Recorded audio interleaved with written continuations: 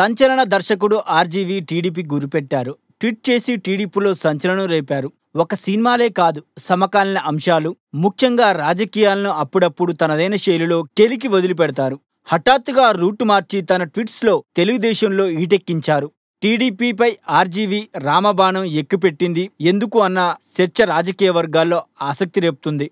రామ్ గోపాల్ వర్మ పెద్దగా ఇండస్ట్రీకి అక్కరలేని డైరెక్టర్. ఇప్పటి వరకు జనసేనాన్ని తప్ప మరో పార్టీ గురించి పెద్దగా ప్రకటించుకున్న సందర్భాలు లేవు. ముఖ్యంగా జనసేన పైన ఆ పార్టీ చీఫ్ పవన్ కళ్యాణ్ పైన ఓ రేంజిలో ట్విట్టర్లతో వీలు చిక్కినప్పులల్లా విరుచుకుపడుతూనే ఉంటారు. ప్రతిగా పవన్ కళ్యాణ్ ఫ్యాన్స్ కూడా ఆర్జీవీని ట్రోల్ చేస్తారు కూడా.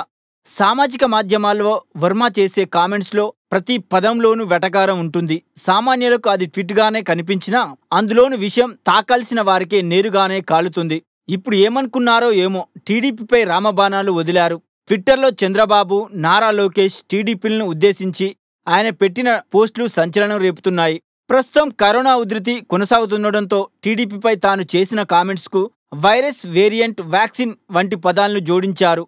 లోకేష్ను వైరస్గా అభివర్ణించారు. అక్కడితో ఆగితే బాగోదనే అనుకునేవారు.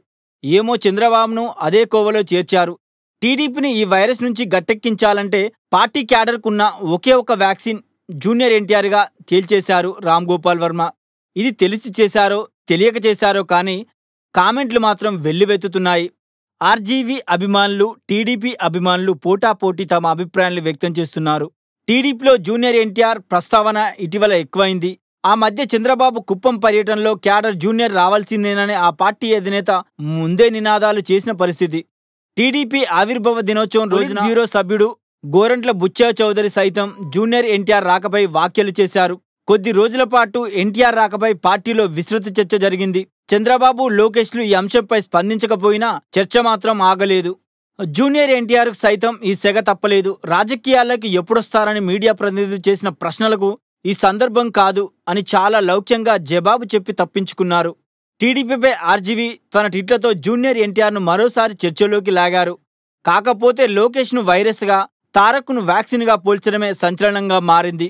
రాజకీయాల్లో పవన్ను వదిలేశారో ఇక టీడీపీని పట్టుకోవాలని అనుకున్నారో కానీ రామబాణాన్ని ఇటు ఎక్కుపెట్టి పొలిటికల్ సర్కిల్లో హీట్ పుట్టించారు ఆర్జీవీ.